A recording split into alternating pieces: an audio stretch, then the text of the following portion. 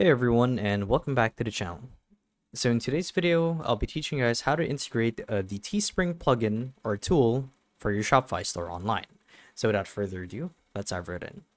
So to actually do this is quite simple, but I should let you guys know that uh, Teespring, the platform Teespring isn't readily available or natively supported by Shopify. And I'll show you guys what I mean in a sec, but just to um, uh, support that statement. Um, here's an article on Shopify talking about um, Teespring and whether it's readily available.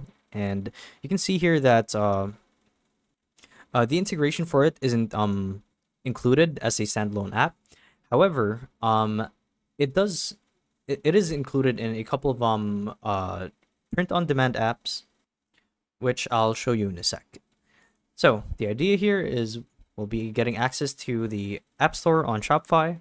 And there are two ways to do that. Either click on the search bar right here, or click on Apps, and then Apps and Sales Channel, and click on Shopify App Store.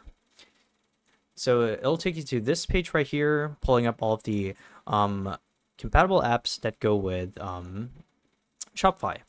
So let's first try Teespring, like so and you'll see right away that it's not actually it's not natively supported by uh, Shopify as a standalone app. But you'll see here if I type down uh, POD let's actually try print on demand or okay. Okay so something like AutoDS is an example.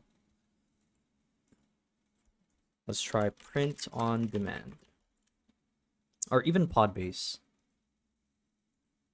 Oops. Here we are.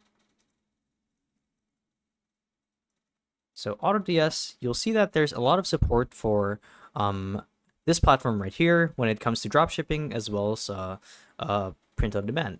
So as you can see here, there's uh, Oberlo, Saliho, or Saliho, oh, SaleHoo, I read that wrong. There's Shopee, Glowroad, DHgate, uh, uh, USA Drop, AliExpress, and so on. So among these um apps is also Teespring as a POD business.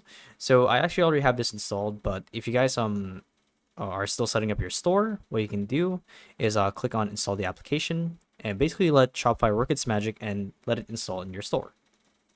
So it's honestly that simple. Or alternatively, you could also use um, Podbase as this includes um, all of the um, bells and whistles that you need for uh, print on demand or POD businesses. So yeah, there you guys have it. So hopefully this video helped you guys out, and if it did, be sure to let us know down in the comment section below. So with that said, thank you all for watching, and we'll see you guys in the next one. Bye-bye.